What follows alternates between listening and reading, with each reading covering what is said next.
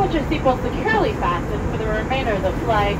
Then begin wrapping up and powering down laptops and devices of similar size because in a few minutes we'll be asking you to them for landing. Thanks for your cooperation.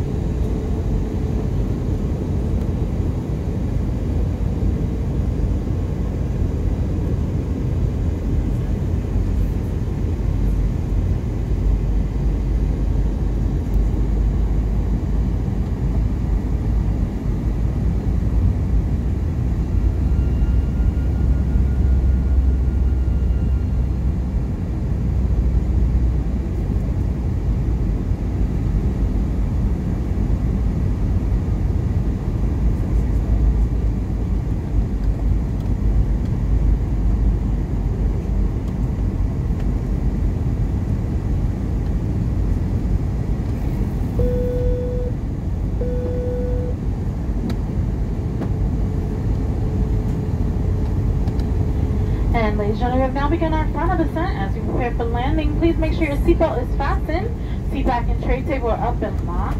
Also at this time, please put away all carrying items, including laptops and devices of similar size for landing. Small electronics may be held, placed in your pockets or in the seat back in front of you, but cellular services must remain off until we've landed. You can help us prepare for our next flight because this plane is heading right back to JFK by checking around your seat and in your seat back pockets for items that you'd like to discard and hand it to us one last time as we pass through the cabin. It has certainly been our pleasure hosting you today. We'll be landing soon and welcome to Salt Lake City.